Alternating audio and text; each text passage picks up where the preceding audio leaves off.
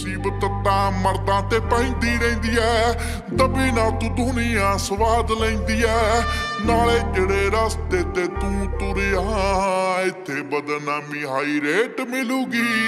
ਇੱਥੇ controversy crate ਮਿਲੂਗੀ। ਧਰਮਾਂ ਦੇ ਨਾਮ ਤੇ ਡਬੇਟ ਮਿਲੂਗੀ। ਸੱਚ ਬੋਲੇਗਾ ਤਾਂ ਮਿਲੂ 295 ਜੇ ਕਰੇਗਾ ਤਰੱਕੀ ਪੁੱਤ ਹੇਟ ਮਿਲੂਗੀ